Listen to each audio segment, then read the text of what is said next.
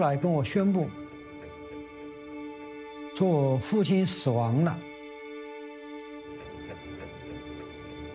有一种特别愤怒的感觉。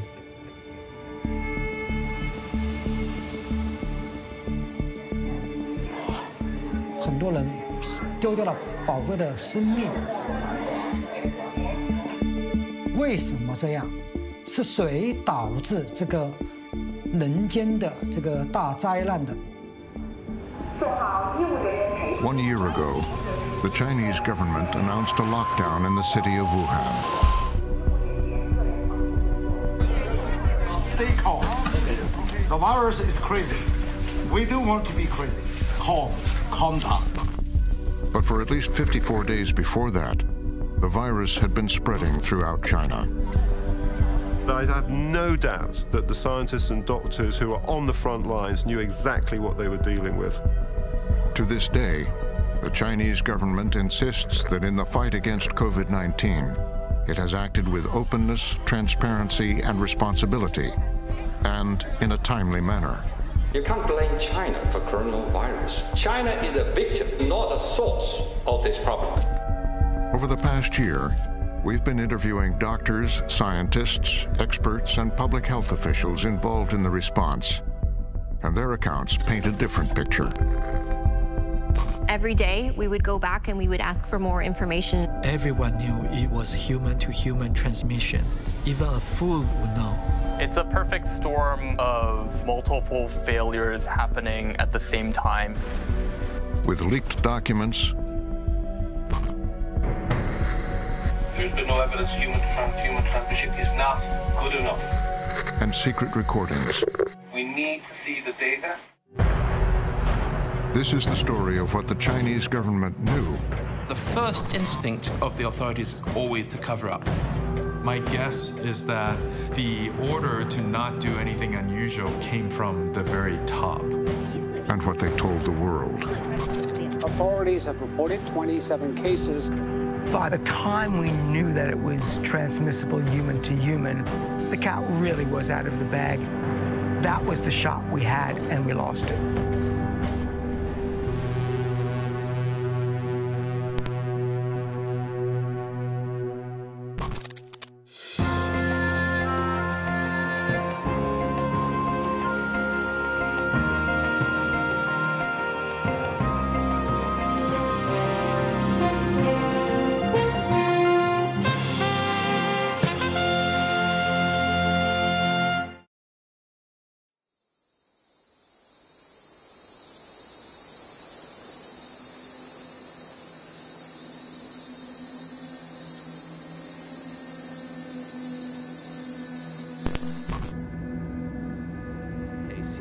Severe flu-like illness, which experts say is a worldwide threat to health. The pneumonia-type bug first appeared in Guangdong province. Officials there saying the outbreak is under control. The World Health Organization has issued a global alert. Virus behind a severe outbreak of pneumonia.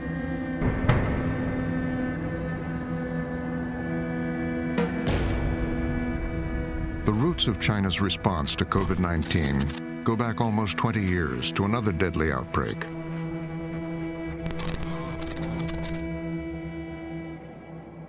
The story does start with SARS, and it began with the lack of transparency from China. In November 2002, an outbreak of severe acute respiratory syndrome, or SARS, began in southern China. The virus is thought to have passed from a bat into a civet cat and into humans at a market. It then spread quickly through southern China's crowded factory cities doctors identified that something unusual happening reported to the local public health authorities. It took weeks and months, you know, for them to take uh, decisive action. China's authoritarian government maintained everything was under control. The immediate response of the Chinese government was literally to lie and dissemble. And that caused total confusion for the rest of the world as this epidemic began to ignite. Five months into the outbreak, a Beijing doctor exposed what was really happening. He revealed there were many more cases than the government was letting on. The central government in Beijing now admitted the scope of the problem. SARS has come to North America. A thousand people have been quarantined in Hong Kong. Two dead in Canada and six cases in Europe. By this time, SARS had spread around the world. It would ultimately cause almost 800 deaths.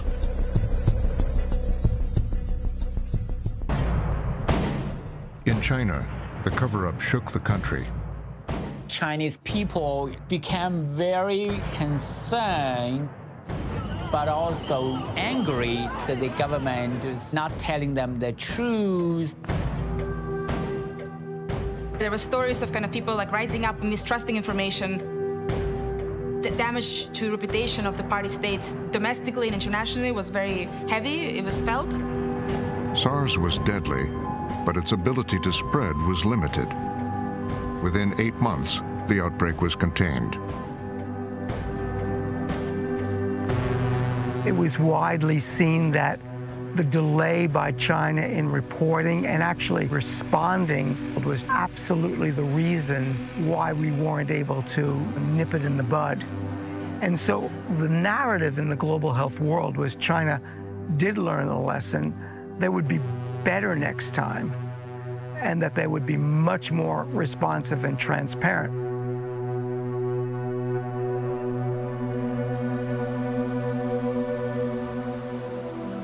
Beijing set about making sure that SARS could not happen again.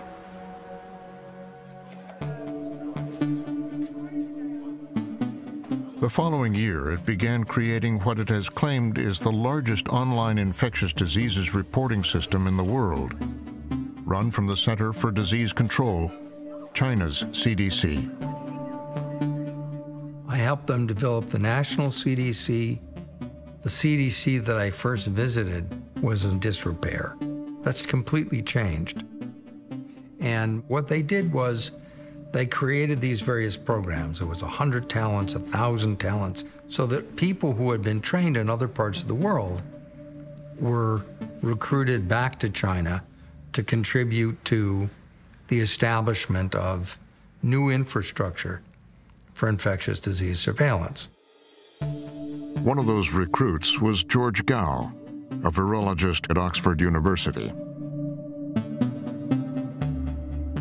He became the head of the China CDC in 2017. Let me tell you how we organize the disease control and public health in China. Surveillance. We have the general centralized data uh, center. It's in China CDC. I will know with the hours whether or not we have an outbreak, you know, even in a small village.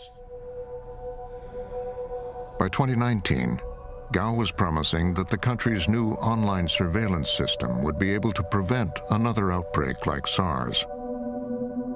So they were indeed confident, right, that they uh, had the capacity uh, to uh, handle uh, well a major disease outbreak. Uh, should it happen, right, that they would be able to nip the crisis in the bud.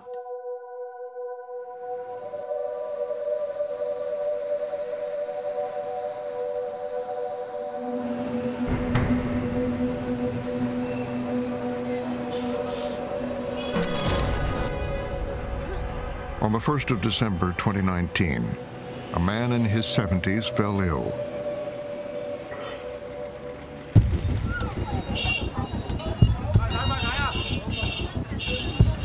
He was admitted to a hospital in Wuhan, a vast industrial city and the transport hub of central China.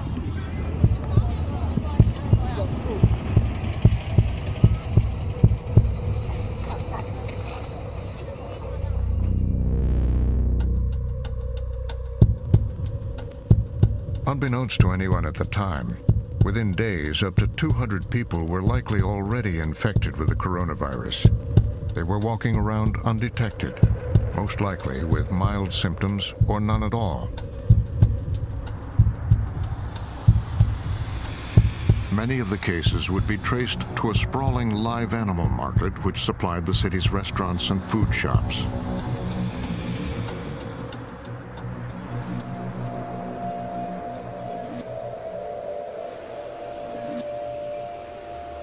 Colleagues at the Wuhan CDC, the Wuhan Center for Disease Control, 2014, took me there really to say, look, this is the, look at this place. This is the kind of place where emerging microbes may appear. And I took lots of photographs because they are quite jarring. There were snakes, cats, raccoon dog, and they were sometimes in individual cages on the floor and sometimes stacked on top of each other. After SARS, Beijing had passed a law requiring markets to maintain sanitary standards, but it was widely ignored. People will kill animals in front of you. There's feces, guts, blood, organs lying around with wild birds coming down and feeding on it. You've got thousands of people congregating. It's a really good place for a virus to spread from one person to another and get out into the community. It's not known whether the market was where the virus first made the leap from animals to humans. But by mid-December, several people were turning up at nearby hospitals. Doctors noticed a pattern, strange white spots in patients' lung scans. Doctors put two and two together that if you're in a hospital and you see one pneumonia patient or even two, you may not think anything untoward's happening. But the fact that they were seeing in different loca locations meant that that cluster meant there was an infectious agent going around.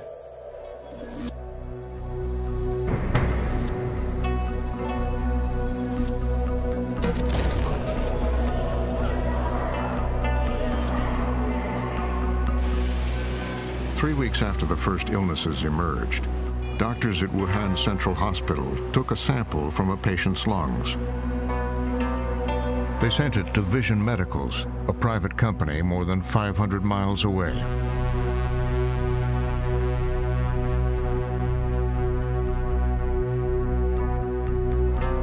Within 48 hours, the company had come up with a short genetic sequence of the virus.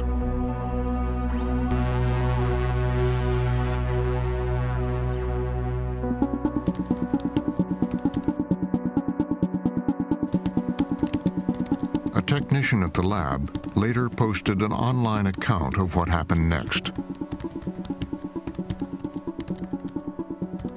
Virologist Wang Linfa read the post before it was removed from the internet.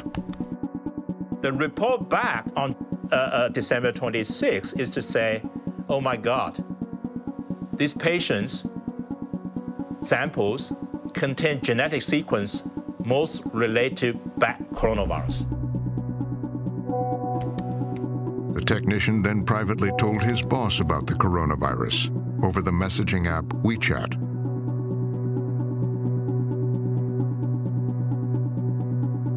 Coronaviruses are a large family of viruses which includes SARS and the common cold.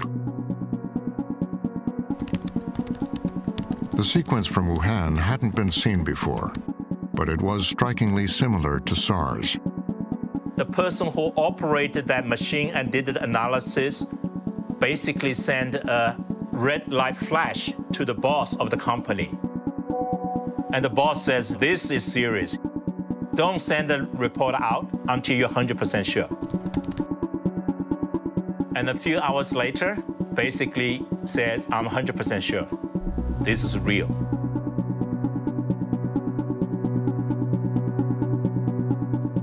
Informed the doctors at the hospital and the Wuhan CDC. They also sent the sequence results to the state-run Chinese Academy of Medical Sciences in Beijing. Over the coming days, word of a new SARS-like virus was starting to spread among officials in Wuhan and Beijing. Several more samples were sent to other labs for sequencing. None of these results were initially shared with the international community. So the sequence of a pathogen is really important because that is what allows people to figure out how quickly the pathogen is spreading. And to be able to create tests to detect the virus is really crucial information for health authorities in other countries to start detecting this virus. You know, where is it going? Is it is it going to go outside of China? Is it going to become a pandemic? Is it human to human transmissible? Of course, you don't want to rush out some information that could potentially be false and, you know, make everyone think that, oh, this is some other kind of pathogen and somehow misinform people. Almost a month after the first cases emerged, hospitals in Wuhan were receiving dozens of patients with severe pneumonia.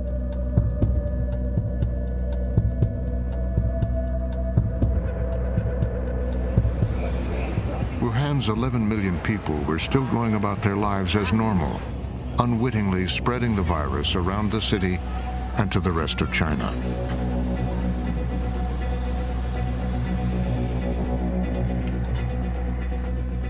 Then a lab in Beijing that had been reviewing a sample of the virus sent Wuhan Central Hospital some startling results.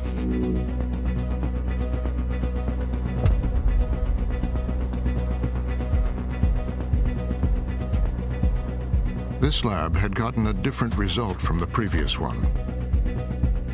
Rather than a virus similar to SARS, they said it was SARS itself. It would turn out the lab had made a mistake, but the results quickly started circulating among doctors at Wuhan Central Hospital. This was the first time that the information about the possibility of this virus was shared. This was the first time there was documentation, there was evidence that something is really happening, and that's being shared publicly. WeChat groups are like little discussion circles. Could be hundreds of people in one group. And it's very, very easy for information to spread, and it spreads like fire. At around 5.30 p.m., it reached Li Wenliang, an eye doctor. He forwarded it on with a warning. Don't circulate this information outside the group. Tell your family and loved ones to take precautions. He was talking to a group of fellow doctors from his university when he brought up the problem. He wasn't trying to go public. And in the ordinary course of events, it would have been like a little black mark on, uh, on a record somewhere. Instead, he ended up at this kind of crux of, of history. His message went viral.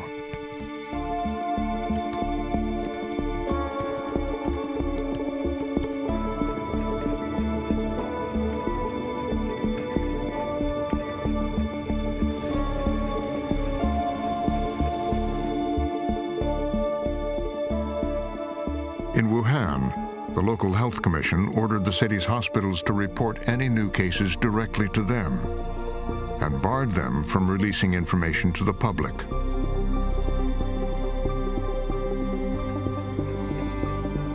Within 12 minutes, the orders were leaked. They too were widely shared on the internet. News of an outbreak had escaped.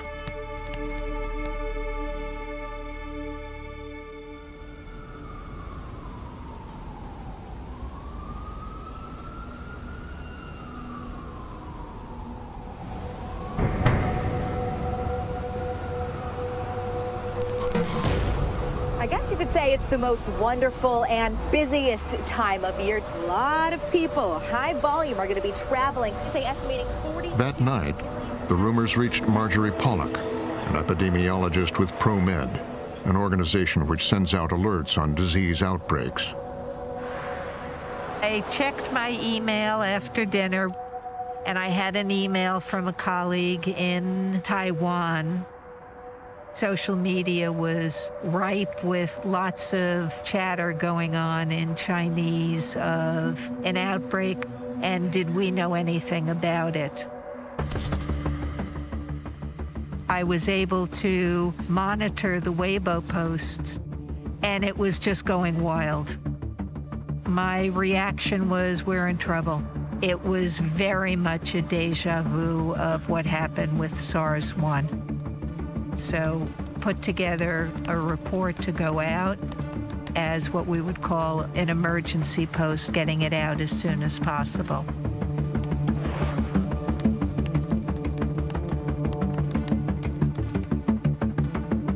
It went out to around 80,000 subscribers worldwide.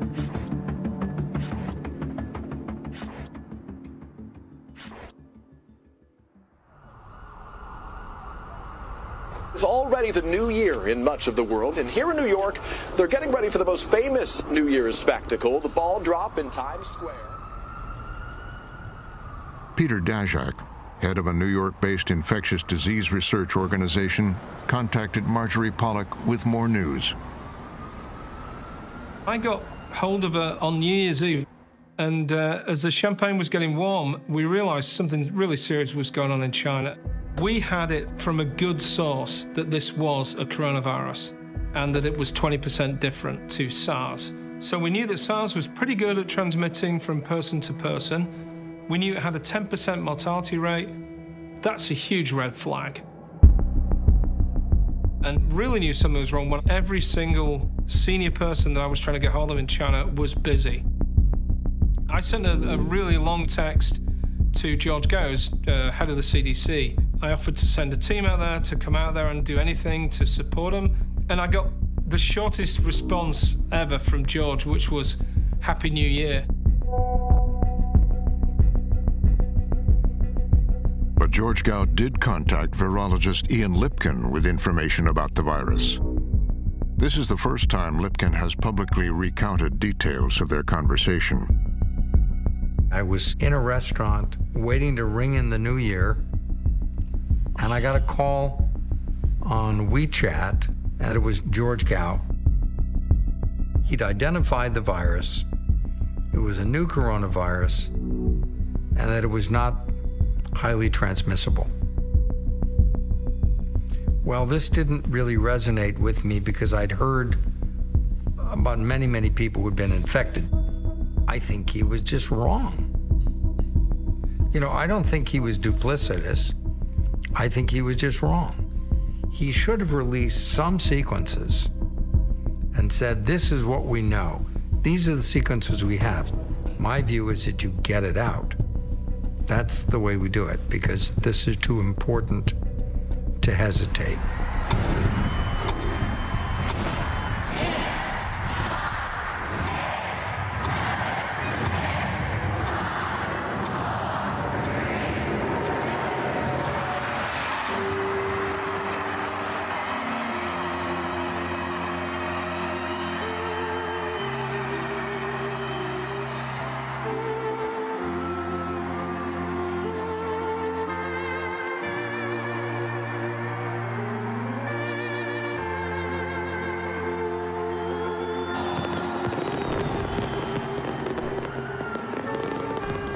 George Gao did not respond to our interview requests.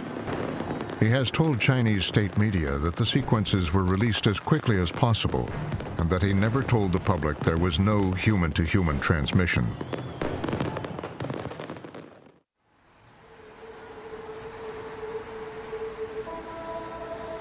News of the possible outbreak had actually spread far beyond Wuhan by late December. And that suddenly there was this increasing kind of pressure because the outside world was looking. But that's a dual-edged sword in China, because on the one hand, the outside world looking can create pressure to act. The outside world looking can also create pressure to cover up.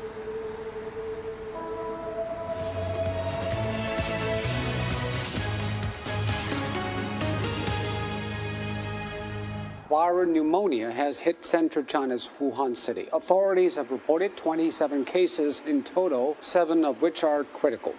The National Health Commission now instructed Wuhan health officials to announce the outbreak. The news was aired on state-run TV. Patients are reported to have worked at a local seafood market. But the officials played it down, describing it only as a viral pneumonia that was under control. 因为我们肯定会，我们排查了嘛，排查了，目前是跟非典没有关系，别的病原体正在排查。They reassured the public that there was no evidence of human-to-human -human transmission and closed the market where they maintained many cases had originated.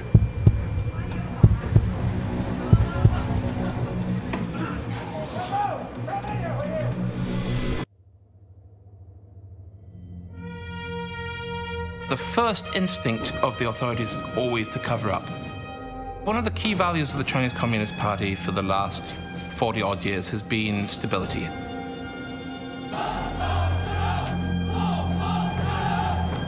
The avoidance of what they see as chaos, the dangers of revolution, overthrow.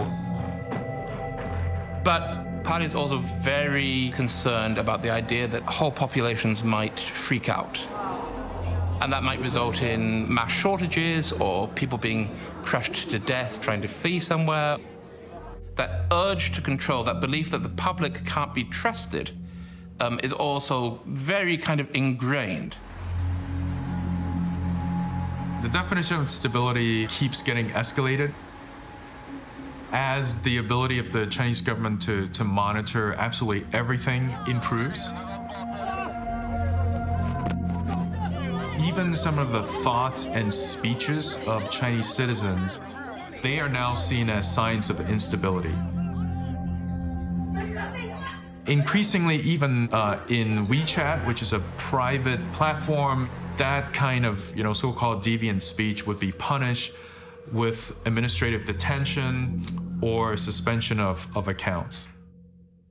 武汉市公安局官方微博发布消息称，关于当前武汉市肺炎疫 On January 1st, the Wuhan police dealt with the doctors who'd spread the news of an outbreak. On state TV, they were labeled rumor mongers and internet users. Several were given official reprimands by the police. The news was widely covered on national television.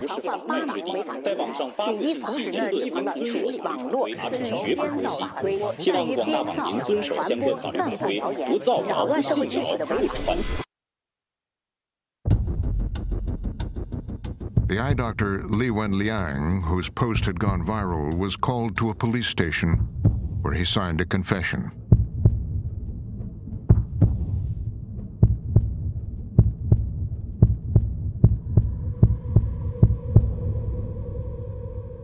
The Chinese government has disputed that what happened to Li is evidence they were trying to suppress news of the outbreak. They say he was simply being urged not to spread unconfirmed information and that all countries have strict rules on the confirmation of infectious diseases.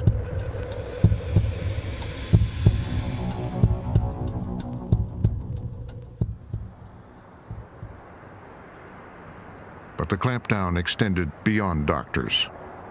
Chinese journalists were now subject to specific censorship instructions, and key words began to disappear from the internet. When I first started seeing the reports on December 31st, doctors from Inside were describing it as SARS. Um, and so, you know, I started searching Wuhan SARS to see what the discussion was online. And I couldn't find anything. You know, you had that standard term, that relevant search terms blocked, which is not a surprise because the government obviously wants to keep things stable. I'm pretty sure they did not want any comparison to SARS. They wouldn't want a panic to ensue because of that. But by now in Beijing and Wuhan, top government officials were confronting evidence that they were dealing with something potentially serious, a novel coronavirus.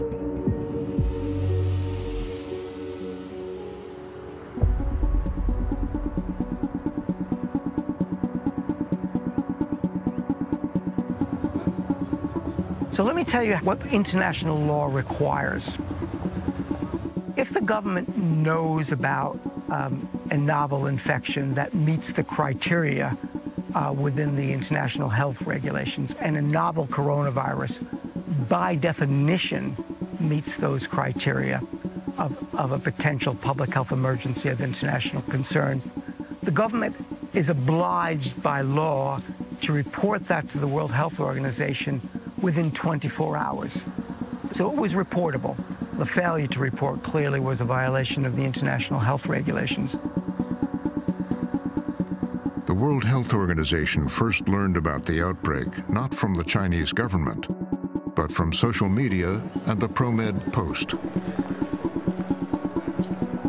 On January 1st, its incident management team began a series of emergency conference calls.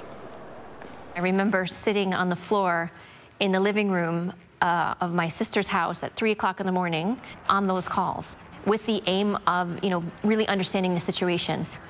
We had the assumption initially that this may be something new, that it may be a new coronavirus. And as a respiratory pathogen for us, it wasn't a matter of if, you know, human to human transmission was happening. It was what is the extent of it and where is that happening? WHO officials requested more information from China's National Health Commission. It was two days before they heard back. What they were told was vague. There were 44 cases of viral pneumonia of unknown cause. The country has an obligation to answer WHO's questions honestly, fully, and transparently. And I don't think that that happened entirely anytime you get an emerging disease outbreak, it's a little bit of chaos at the beginning and also a little bit of disbelief. But having said that, it's hard knowing what happened at SARS, why WHO was not informed straight away. Once you report to WHO, it's open to the world. You start to get travel and trade restrictions placed upon you. China had the memory um, that they lost a lot of economic productivity and travel and tourism and trade during SARS. And so I think China's view was that um, it, it, wanted to handle this pretty much and that it was going to, um, it, it didn't want outside interference. The Chinese government refused multiple interview requests. Instead, it shared a document called Reality Check of U.S. Allegations Against China on COVID-19. The document states, We have all along been in good communication and cooperation with the WHO, and China has provided timely information to the world in an open, transparent, and responsible manner.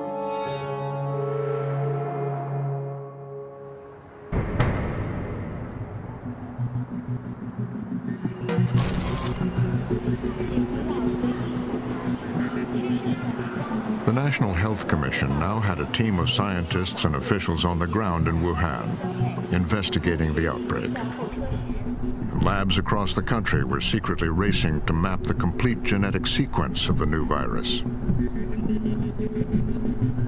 One of those labs was run by a renowned virologist in Shanghai, Professor Zhang Yongzhen. Professor Zhang, he's a very uh, very friendly, passionate, extraordinarily hardworking scientist. Um, I've been working with him since 2012, and we essentially use genomic technology to try to understand virus evolution and diversity. Just how many viruses are there? How big is the total universe of viruses, the virosphere? Virologist Eddie Holmes and Professor Zhang were in the middle of a long-term project on respiratory diseases at Wuhan Central Hospital when the outbreak began. On the 2nd of January, lung samples from infected Wuhan patients were sent by high-speed train to Zhang's lab.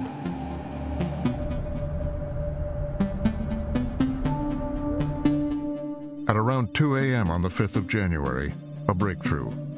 Zhang had obtained the full genetic sequence of the virus. I was driving to breakfast and he called me on the car phone. His team had worked very hard, and so he was very proud, obviously, of the work they put in. On that very day, he was he was working to try and get information released as soon as possible, so the rest of the world could see what it was, and so that we could get we could get diagnostics going. It was important confirmation that the virus was very similar to SARS and therefore likely transmissible between humans. Zhang's office immediately wrote to the National Health Commission, advising preventative measures in public places. Zhang and Holmes wanted to make the sequence public right away, but they couldn't. There was um, an official a memorandum that had gone through saying that he, we were not we were not allowed to, to do this, and so he was put in, he was put in quite a difficult position.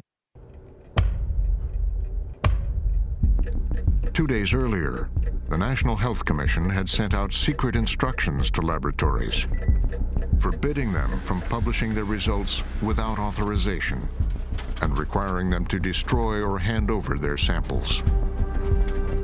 The Health Commission's orders were later leaked. Four other Chinese labs also obtained the full genetic sequence of the virus. They too were forced to sit on their findings.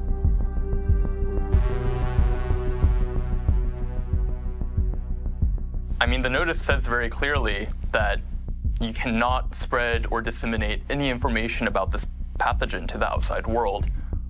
And what that effectively did was it silenced individual scientists and laboratories from talking about this outbreak, from revealing information about this virus, and potentially allowing word of it to leak out to the outside world and alarm people. The question then naturally becomes why would you do something like that? Why would you order people not to talk about this virus? And it's difficult to say exactly what the motives were behind that order. From all indications from the way they behaved in early January, they seem to be really treating this as a slow moving virus.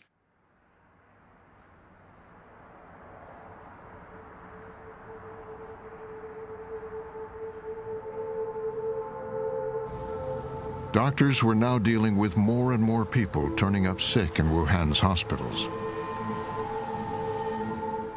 Health workers have been forbidden from talking to the international media without authorization, but one agreed to speak. This is the first time a health worker from Wuhan Central Hospital has talked to international journalists about what was happening in those early days of the outbreak. We are protecting the person's identity and using an actor's voice. I began to suspect there was human-to-human transmission around the 5th or 7th January. There were so many people who had a fever. The respiratory department became full around the 9th or 10th January. I realized this thing had become big. It was out of control. Then we started to panic. But on state television, a representative of the government team investigating the outbreak maintained it was a viral pneumonia. 现在我们看到的情况，总体来讲还是可控。 那么大部分的病人还是相对来讲比较轻，而且有部分病人已经出院了。当然不不排除，呃，个别的病人会比较重，因为每年的肺炎啊，实际上都会有非常严重的病人。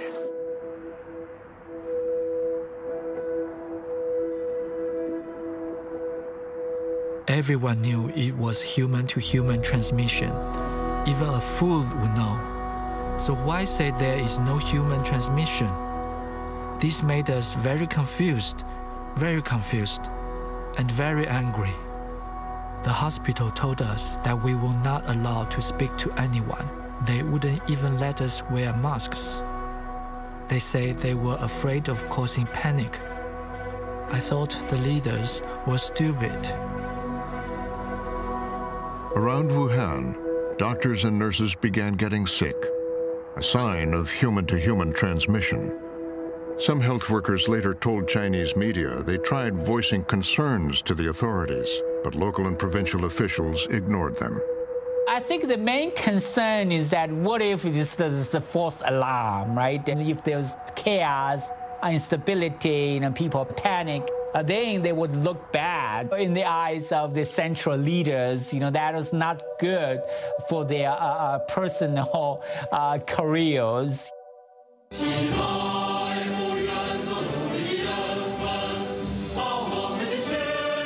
On January 6th, city and provincial officials began 12 days of annual political meetings in Wuhan.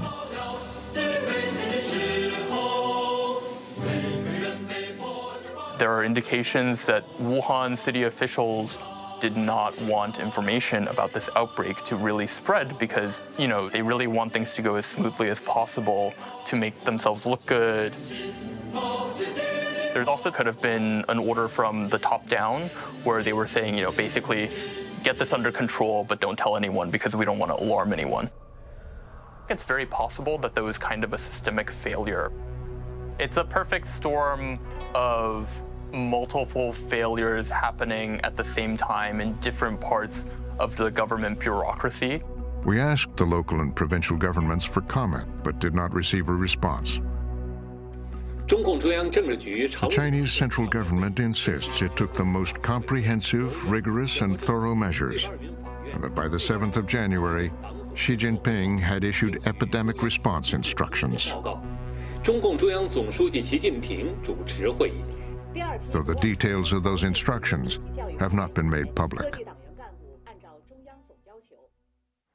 As the virus continued to spread, the world outside Wuhan largely remained in the dark about what was going on.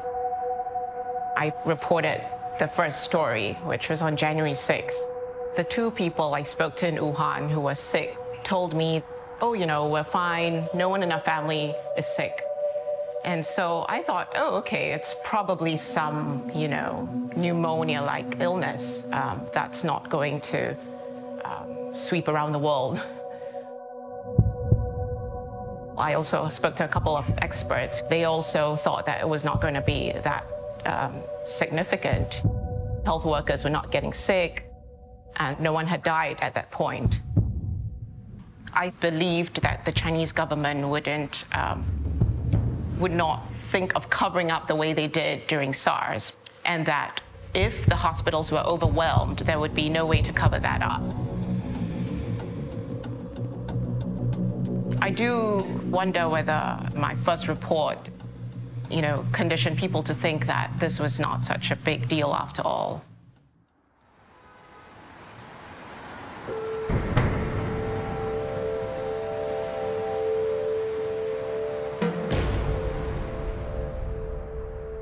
I 不知道武汉这个存在这个新冠疫情。嗯，怎么说呢？我 我和我父亲啊都是武汉人嘛，我从小在武汉长大，我离开武汉是很早的，也去了很多地方。Across China, most people were unaware of what was happening in Wuhan. Zhang Hai was making plans to take his 76-year-old father, Zhang Lifa, back to the city. 我父亲摔了一跤，呃，医生是说要住院做手术。我开车嘛，带我父亲回武汉，因为我父亲他是享受公费医疗的。Zhang Hai checked his father into the People's Liberation Army Hospital in central Wuhan to have his broken leg operated on. 就跟我父亲用的是全麻，全麻后，我父亲是第三天才苏醒过来的。当时医生跟我说，我父亲手术是很成功的，同时恢复恢复啊也是挺好的。当时我父亲的脸色是很圆润的啊。在医院的时候。我就是看医生嘛，他们就是也是是戴着很普通的一个口罩，并没有什么别的防护那种措施。如果我知道武汉存在新冠疫情这个病情的话，我肯定是不会开车送我父亲回来。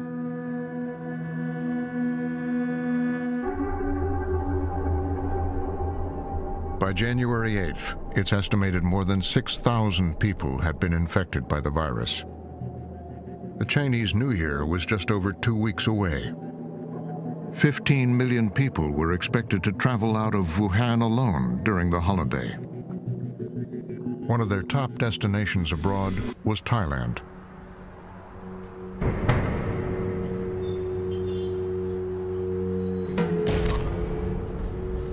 Publicly, the Chinese government was still saying that cases were linked to the Huanan market, and there was no evidence of human-to-human -human transmission.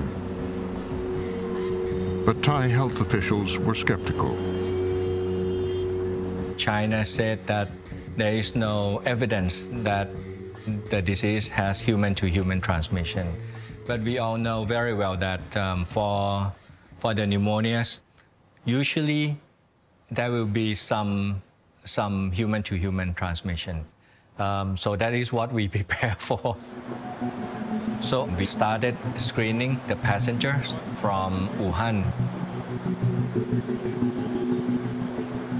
Bangkok's main airport began temperature checks on all passengers from Wuhan, not just those who had been to Huanan Market.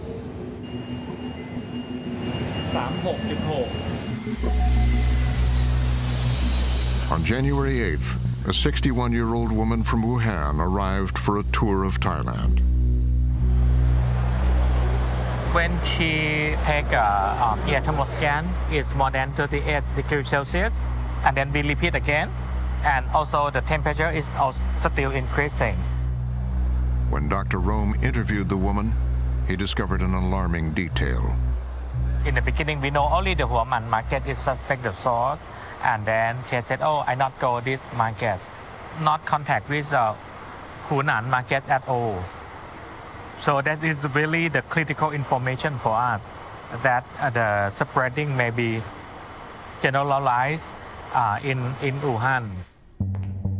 Thai health officials took a sample from the woman. They wanted to be sure it was the same illness as the one spreading in Wuhan.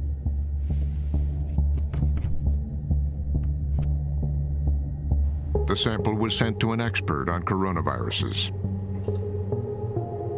Dr. Lom asked my lab to uh, identify the, the disease of the unknown pneumonia. So this is uh, our huge responsibility. She quickly identified four short genetic sequences, but it wasn't quite enough. All the four sequences were matched to bat SARS-like coronavirus. But I could not say that this is the cause of the disease. And at that time, we are waiting for the whole genome sequence from China to confirm.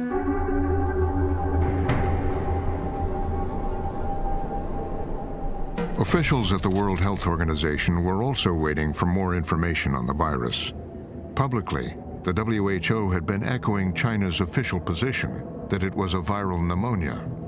But behind closed doors, something else was going on. The WHO starts to get concerned because they're starting to hear, you know, the Chinese authorities know more. Oh, they had sequenced the virus. They've identified what kind of virus it is, but they don't know what's going on. And that we know because the Associated Press obtained some recordings of internal meetings by WHO officials. The Associated Press shared some of the leaked recordings with Frontline. They show that officials were frustrated at China's lack of transparency. We're going on very minimal information. I, I know it's, it's clearly not enough for you to do a, a proper planning related. I think we need to shift gears. We've all been, some of us have been here before in 2003. And this is exactly the same scenario in update from China. Dr. Mike Ryan, who was overseeing the response to the emerging outbreak, was worried that the WHO would be accused of failing to warn the world. Uh, despite good intent, it uh, eventually if something happens.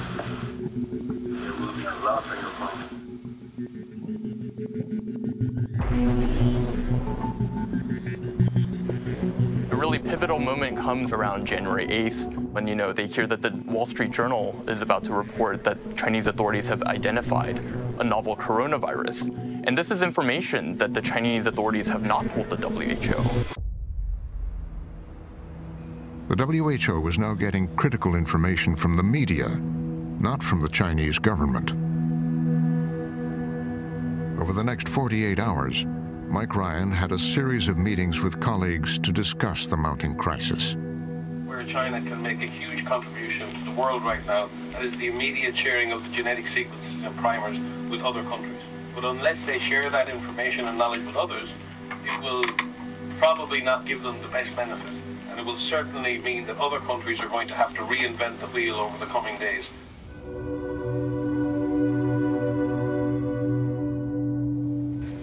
No evidence human trans human transmission is not good enough. We need to see the data. We need to be able to determine for ourselves the geographic distribution, the timeline, the epi curve, and all of that. Um, it's absolutely important at this point. Those concerns are not something they ever aired publicly. And instead, they basically deferred to China. They said, oh, you know, China says that there's this number of cases. The next day, a WHO representative went on Chinese state television. It appears that the cases have stopped, um, uh, new cases have stopped after the market uh, was temporarily closed. And we can see that uh, uh there is no clear evidence of sustained human to human transmission. The sheer speed of the response in China, the quality of the closure of the hospital, uh, the, the market, the extremely rapid investigation shows the increase in capacity that uh, China has, uh, has acquired.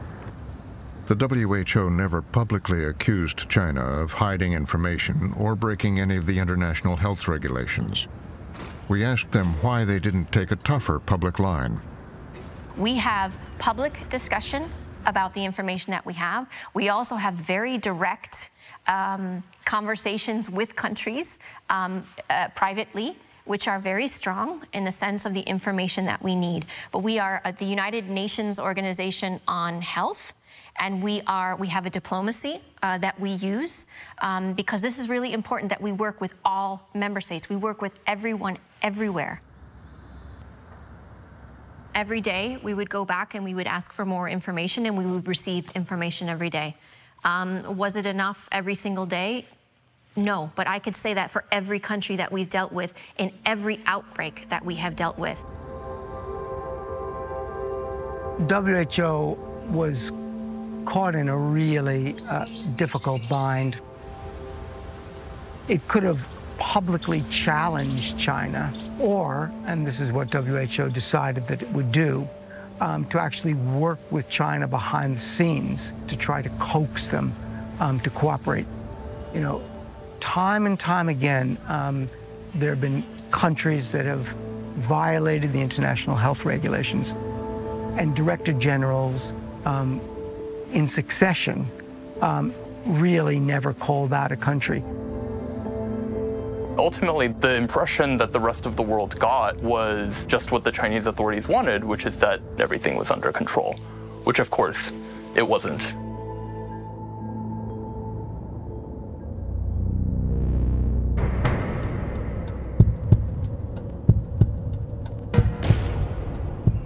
Six days had passed since Shanghai virologist Zhang Yongzhen had obtained the full genetic sequence of the virus. By now, Chinese state media had announced it was a novel coronavirus. But Zhang was still prohibited from publishing his data. Once the Chinese authorities confirmed it was a coronavirus, at that point, it seemed absolutely ridiculous that we couldn't release the data. It was untenable that we were sitting on this information and not letting it go out. It just seemed wrong. He was very stressed because he was under great pressure. He's a Chinese citizen, he's, very, he's a very proud Chinese citizen. He doesn't want to do things that he thinks will be wrong for his country. On the Australian morning of January 11th, Zhang and I were, were talking on telephone, and he was on a plane flying between Beijing and Shanghai. I said that we need to release it. It's now, it's now or never. Really have we have to do this. And he said, okay. So he sends me this email with a file of the sequencing. And I contact a colleague in Edinburgh, Professor Andrew Rambaut, and he established a website called Virological, which is used for rapid dissemination of data. It's like one o'clock in the morning in the UK, and but we need to write like some text saying what it is and where it comes from. My hands were kind of, I, mean, I remember I was sort of shaking as I was pressing the button. I could almost hear the hands of the clock ticking. So then we posted it on Virological, and I put a tweet out saying, here's the first genome sequence. So that bit was done extremely quickly. I just felt the weight of pressure just to get this out there.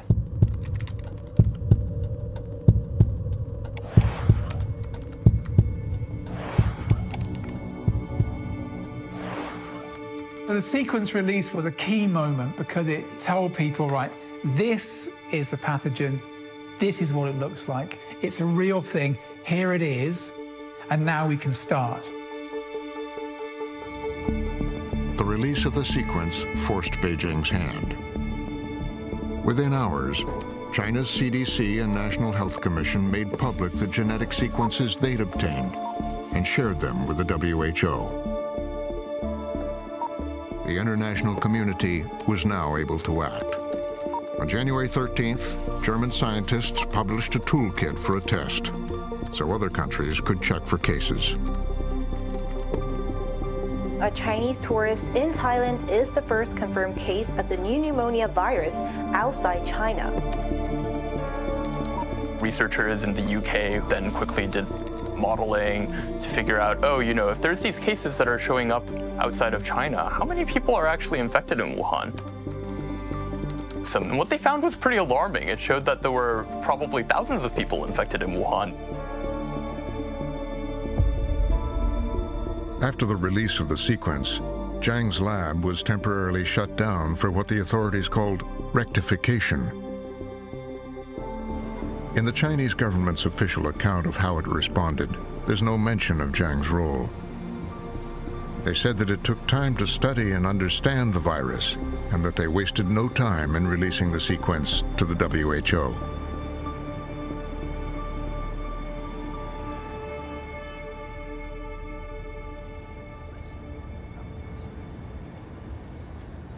Wuhan's hospitals were now treating hundreds of patients with respiratory symptoms. The health worker at Wuhan Central told us the emergency room was filling up.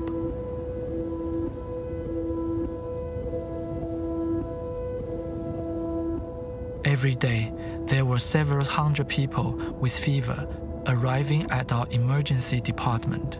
Hundreds every day. I was definitely afraid. I realized that this illness was everywhere. Patients were starting to die. Around me, one by one, my colleagues were becoming infected all of us were definitely scared. Although there were now hundreds of sick patients across Wuhan, they weren't being logged in the CDC's much touted reporting system. The official case count had in fact been revised down to 41. According to leaked documents from the City Health Commission and Wuhan Central Hospital, local and provincial authorities were suppressing the numbers. They were only counting cases linked directly to the Huanan market. And only they, not the doctors, were authorized to confirm cases. At the level of the hospital, we could not confirm a diagnosis. And I don't know what level could actually confirm the diagnosis. So to say there were 41 confirmed cases, I don't think is incorrect. But if you are talking about suspected cases, I guess that at that time there were already hundreds and hundreds.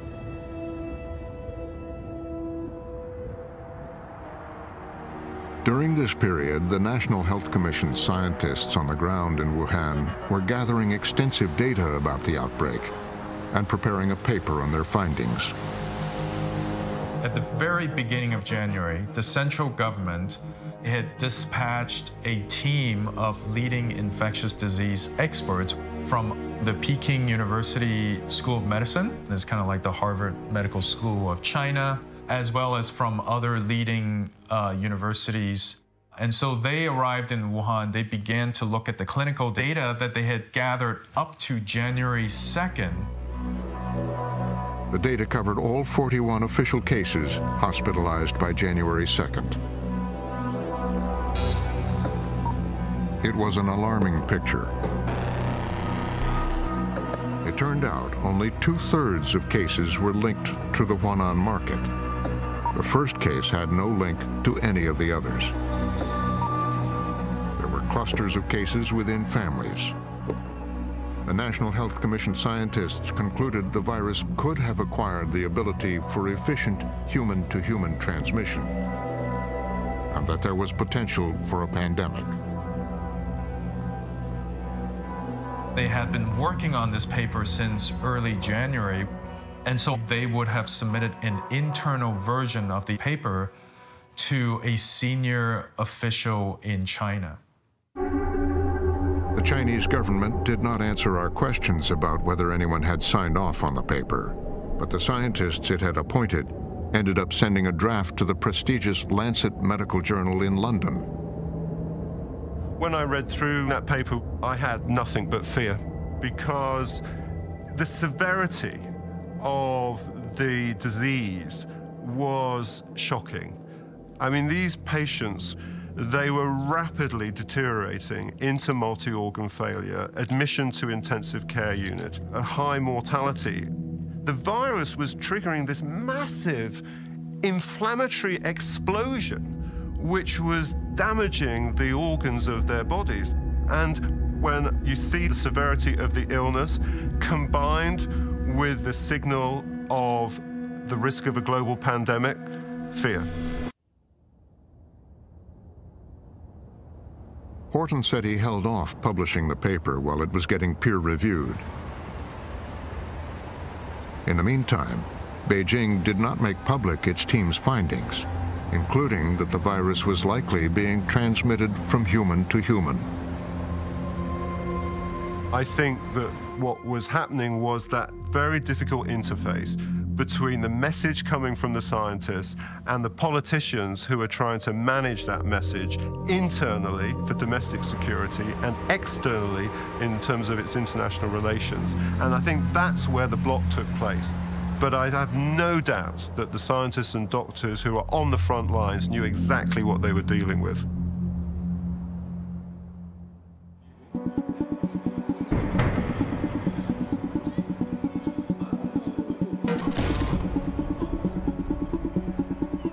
Beijing, the government secretly started to ramp up its response.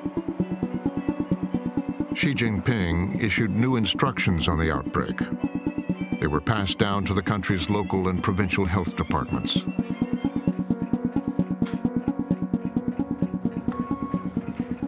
So the Associated Press's global investigative team obtained some documents and shows that on January 14th, China's top health official, Ma Xiaowei, he told the country's public health institutions to prepare for a possible pandemic.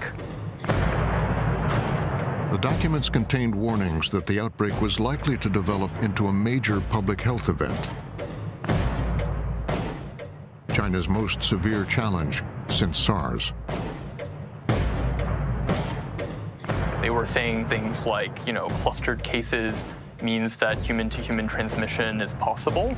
They were saying things like because of upcoming travel for China's biggest holiday of the year, the Spring Festival, means that this virus could be spreading widely. At train stations and airports around Wuhan, temperature checks began appearing. Hospitals across the country were told to start preparing. The government did not announce these new emergency measures to the public. But it did authorize state media to say that limited human-to-human -human transmission could not be ruled out. 新型冠状病毒感染的肺炎疫情，今天凌晨，武汉发布最新消息。现有调查结果表明，尚未发现明确的 人传人证据不能排除有限人传人的可能，但持续人传人的风险较低。那么作为公众来讲呢，更重要的是做好我们个人的防护。那么去医院这些场所戴口罩，注意这个手的卫生，注意通风，那么减少我们到人群聚集场聚集的场所。These documents reveal that central authorities were very alarmed about this virus. By January 14th. But in public, again, they weren't really raising the alarm. They say things like in the run up to the two big meetings that China has every year, political meetings. Uh, we have to maintain social stability. There's a big emphasis on that. And that really points to the authorities not wanting to freak people out for political reasons.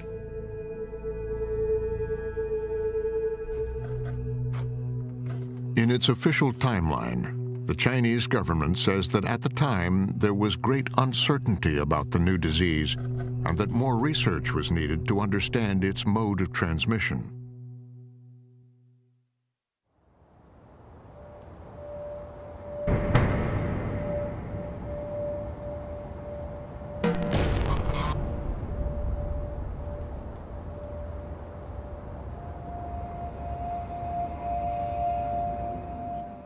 WHO called its first press conference on the outbreak.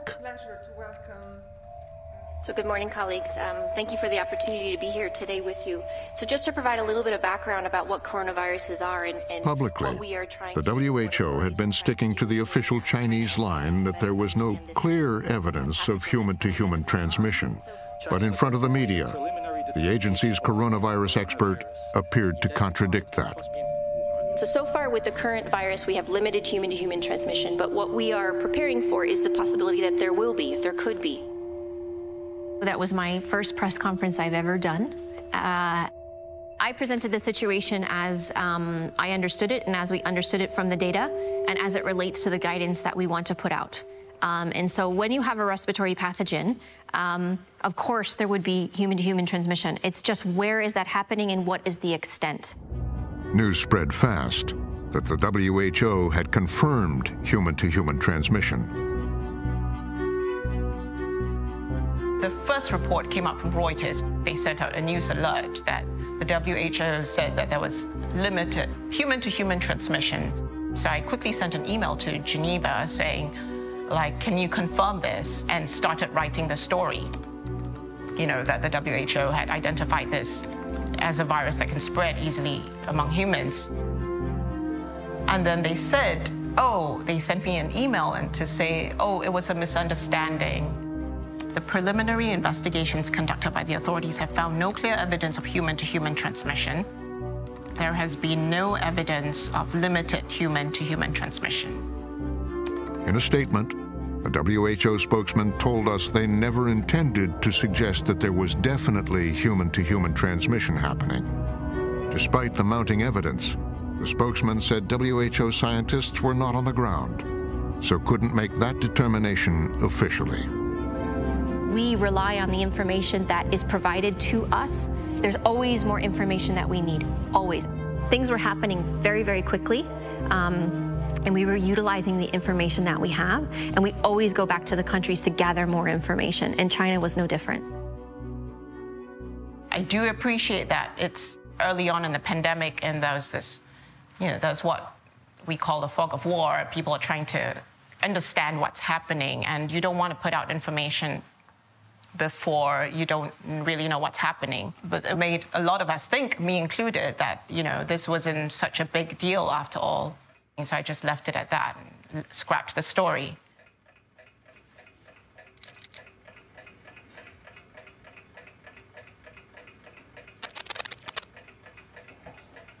Outbreaks had now begun in other parts of China.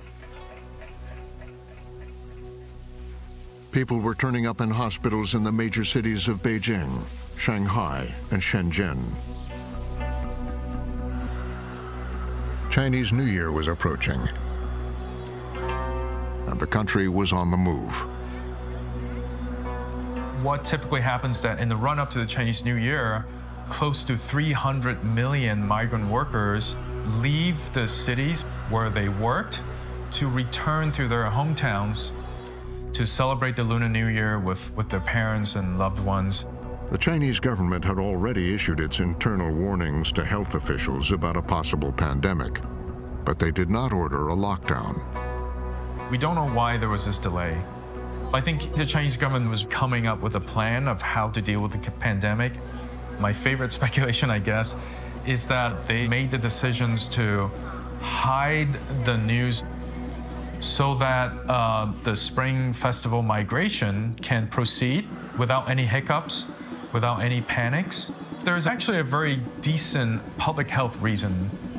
If they had announced a lockdown, that would have meant that hundreds of millions of migrant workers would have been trapped in the major cities, which would have great implications for both public health but also for stability. In Wuhan, life continued as normal. There was a college careers event, performances, and a mass banquet attended by thousands.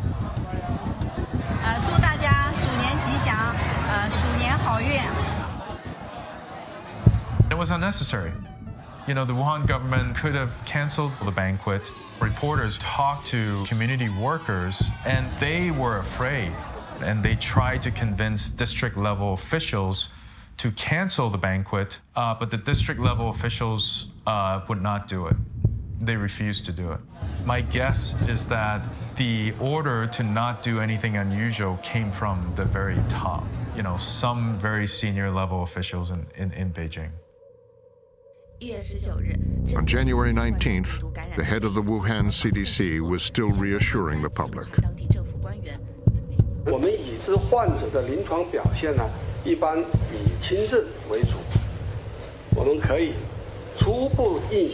那么此次新型冠状病毒的传染力不强，疫情可防可控。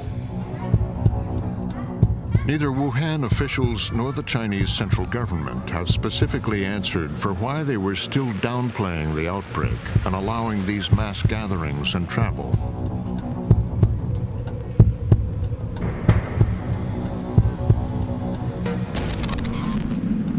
By January 20th, it's estimated that more than 80,000 people in the country were infected. On state TV, the government finally acknowledged that the virus was spreading human to human. The news was delivered by the revered 83-year-old doctor Zhong Nanshan. 针对人传人，现在的这个判断是什么样的？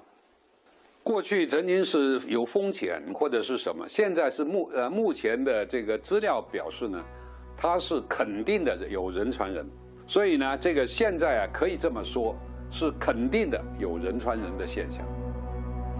Zhong Nanshan is very respected. To have him go on CCTV to disclose this, to be the first person in China to say that this is what was going on was jaw dropping.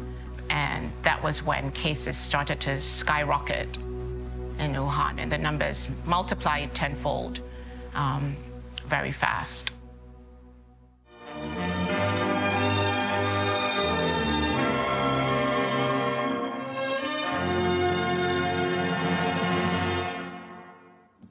本台消息，近期 湖北省武汉市等多个地区发生新型冠状病毒感染的肺炎疫情。截至一月二十号十八时，境内累计报告新型冠状病毒感染的肺炎病例二百二十四例，其中确诊病例二百一十七例。武汉市一百九十八例。It was always going to be very difficult to control this virus from day one. Um, but by the time we knew that it was transmissible human to human, I think the cat was out of the bag. It had already spread. That was the shot we had, and we lost it.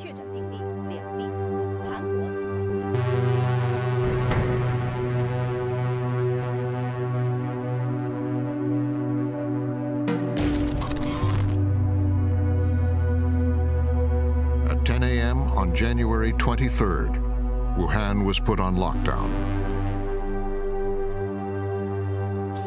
The city, at the heart of a public health crisis in China, is shutting its public transport network. Flights cancelled, trains halted, highways blocked by police. 11 million residents have been told to stay put. CDC Director George Gao went before the media. I'll be here, okay? Stay calm. We have the virus there. The virus is crazy. We don't want to be crazy. Yeah. Calm, calm down. That's right. 大家不要着急，是吧？病毒已经变得非常疯狂了。大家也问，啊，大家喜欢和 SARS 比？一方面，这个病呢，确确实实现在看来，它和 SARS 比呢，它没有 SARS 那么强，出现了好多轻症。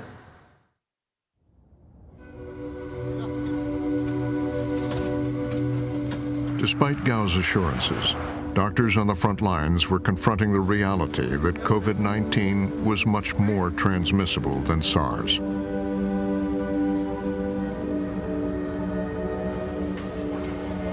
Hospitals were overwhelmed.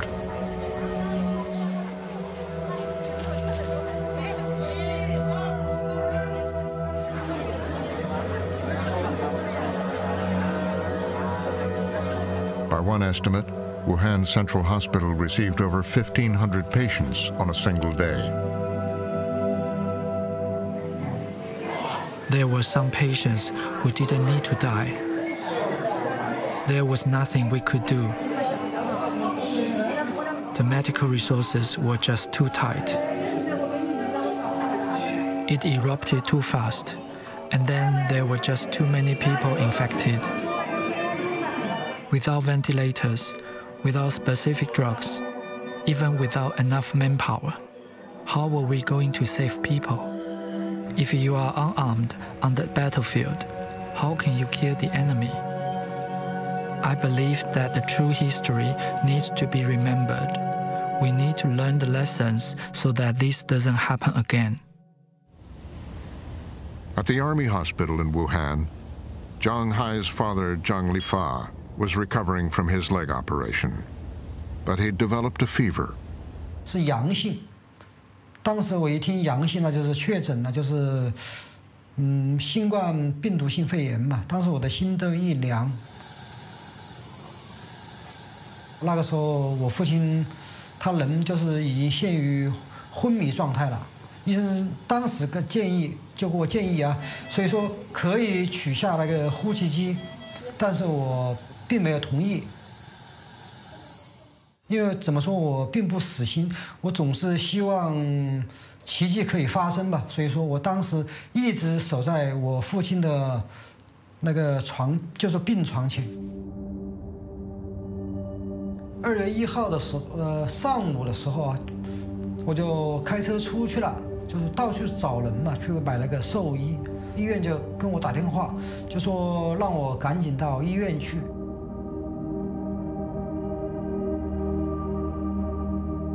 过了一会儿，几个医生就出来跟我宣布，说我父亲死亡了。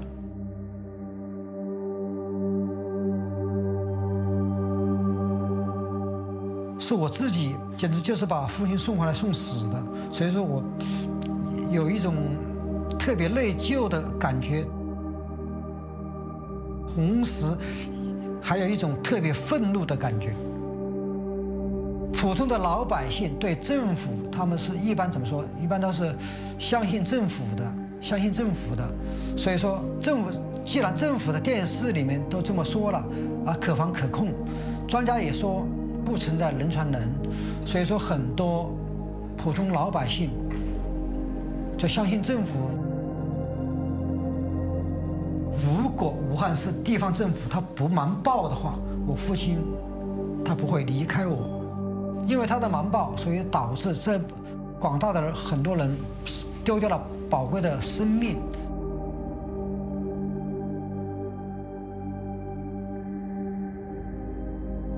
The Chinese government says fewer than 5,000 of its citizens have died from COVID-19.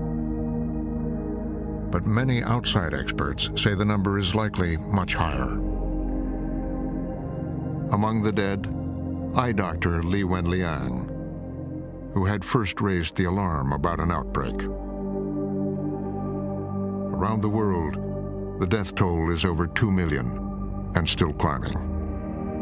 Exactly one year ago today, the first COVID case in this country was confirmed. By next month, more than half a million lives could be lost to the virus. One person now dying every six minutes. January 20th, is the dividing line. Before that, the Chinese could have done much better. After that, the rest of the world should be really on high alert and do much better. I don't think it's clear right now exactly how history is going to view this pandemic. If the Chinese authorities had acted earlier, would it have made a difference?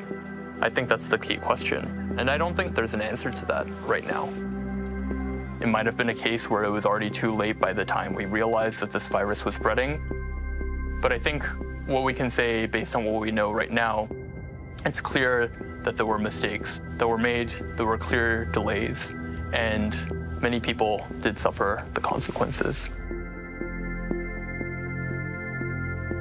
The Chinese government continues to defend its response to the outbreak. 经过艰苦卓绝努力，付出巨大代价，中国有力扭转了疫情局势，维护了人民生命安全和身体健康。中方始终本着公开、透明、负责任的态度，及时向世卫组织及相关国家通报疫情信息。If the great coronavirus pandemic of 2020 teaches us anything, it teaches us that we absolutely have to have um, the kind of, you know, open sharing among scientists and governments about all information. We're all in it together. What we need is early warning and work together, share information, transparency. Now, all of these need a cultural change and needed the political landscape to change. And unfortunately, right now, we're going the opposite direction. I mean, COVID-19 is not going to be the last one, right? Everybody knows that.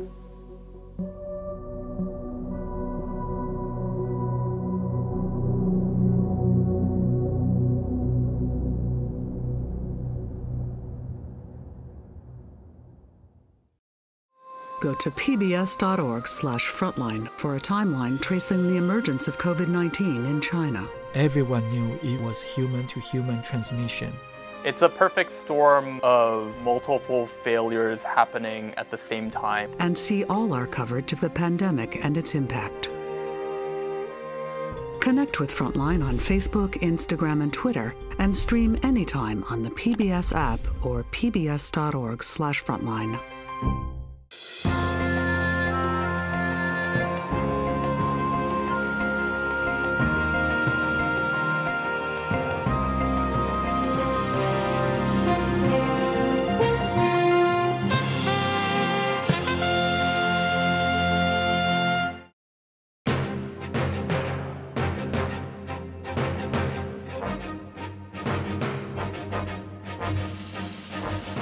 on this and other Frontline programs, visit our website at pbs.org slash frontline.